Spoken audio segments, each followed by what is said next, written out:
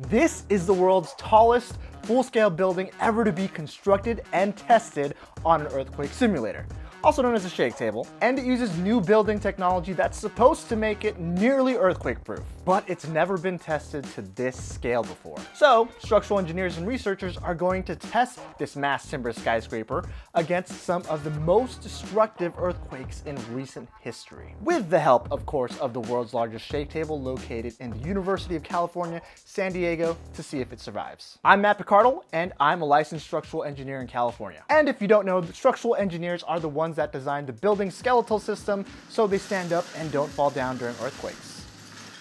See this? This is all of the structural skeleton. Floors, the walls, the beams, the columns, all structural elements, it's beautiful. And a special thanks to Dr. Shiling Pei for giving me a tour of this project. Let's get started. This test is part of the NHERI Tallwood Project, a research project supported by the National Science Foundation, and aims to develop earthquake-resilient tall wood building designs. And that huge shake table that it sits on, it's basically a huge steel block foundation driven by hydraulic pistons that are controlled using computers. So the table reproduces earthquakes by inputting in previous earthquake ground motion records. So for example, the researchers are going to be inputting the magnitude 7.7 Chi Chi Taiwan earthquake, one of the deadliest earthquakes in recent history that had a death toll of over 2,000 people and destroyed over 10,000 buildings. Structural engineers and researchers working on this want to find out how tall wood skyscrapers perform in large earthquakes, mainly because mass timber is gaining popularity as a sustainable building material, since it has less CO2 emissions than steel and concrete. Mass timber is also stronger and more stable than the traditional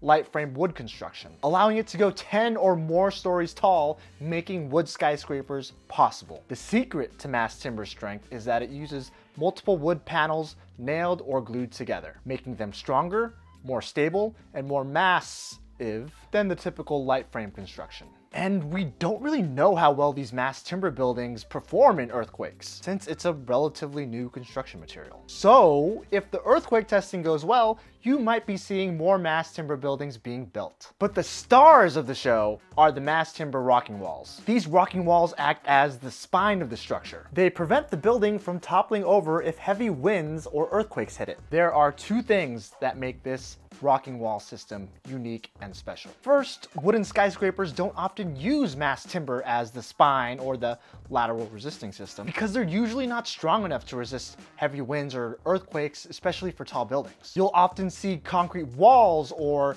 steel braces forming the spine of the structure since they're stronger and stiffer than wood. And second, it's not only supposed to survive earthquakes, it's supposed to be resilient against them. Resilient meaning it's going to have little to zero damage after a big earthquake hits it, making these walls nearly earthquake proof. So why do these mass timber rocking walls have the audacity to think it can survive earthquakes almost unscathed when it's not as strong and it's less stiff than concrete or steel? Well, structural engineers might have figured it out. Instead of taking the conventional brute force method approach of making the structural spine super strong and super stiff to fight the earthquake, roar, more concrete, more steel. Structural engineers went in the opposite direction. Instead of fighting the earthquake, the building will go with the earthquake. It will lean with the earthquake. It will rock with the earthquake, similar to a rocking chair. Hence the name rocking wall. So how did they apply and engineer this to an actual building? Well, they basically used solid wood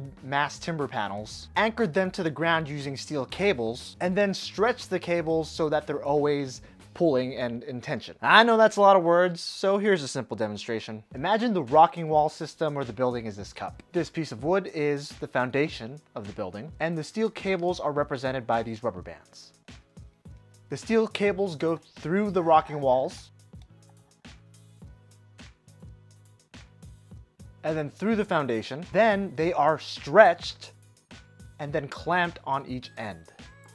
That stretching part is really important because now the building is being pulled towards the ground at all times. So when an earthquake hits and tries to tip the building over, the building rocks back and forth, sometimes even lifting off the ground. But since the cables were stretched out beforehand, they provide the restoring force to snap the building back in place, back to its original position, undamaged resilient. But what's the problem with the conventional methods of using steel braces or concrete walls that we do on most buildings nowadays? Well, most of the time they're not very resilient, even though they are strong. They won't collapse or fall down during an earthquake. Here's what I mean. Imagine this cup is the steel slash concrete wall building. It's strong and stiff, so we're gonna glue it to the foundation for a strong and stiff connection. And here's the earthquake force trying to tip the building over. And great, the building's strong and stiff enough to resist the earthquake. It survived, it did its job, but it's damaged. It's even permanently tilted a bit. But according to the current building codes, this is acceptable. It didn't collapse so people can evacuate.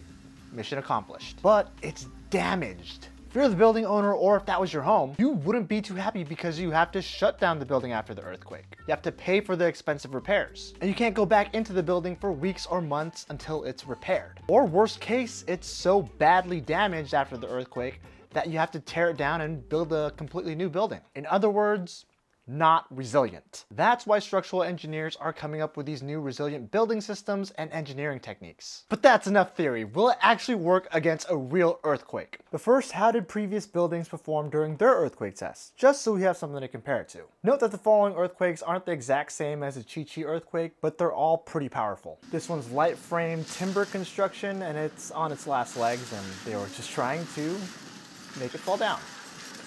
This one's metal studs and there goes its spine. And this one's a 7.9 earthquake in a concrete building. And look at the concrete column on the bottom right. You can see all the cracks opening and closing. And this one's the beam. You can see the concrete beam here spalling out and just vomiting concrete. Now that you got an idea of what the shake table can do, let's get back to the mass timber test. Let's put it to the test with the magnitude 7.7 Chi Chi earthquake.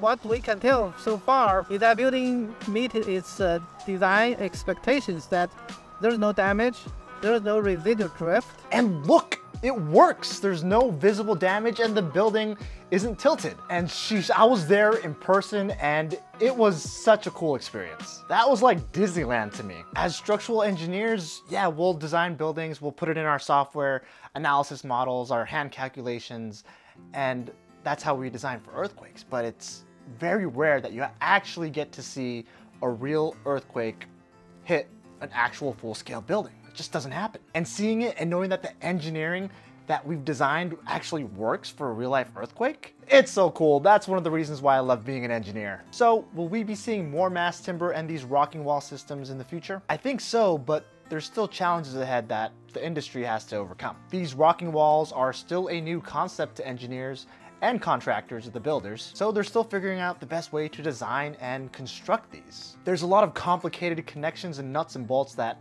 have to go into everything. Another thing the industry has to overcome is the public's perception of wood in a fire. Even though fire testing has shown that mass timber performs pretty well in a fire and even meets the building code's requirement for fire resistance ratings, the general public probably doesn't know that. And even with all that testing, will that be enough to convince the public otherwise. So let me know what you think in the comments. Would you be comfortable in a wood skyscraper? And since you made it this far into the video, you might as well consider subscribing. We're almost at 100,000 subscribers, which is pretty crazy, but subscribe only if you want to. If you hate engineering stuff, yeah, don't subscribe, but why are you even watching the video then?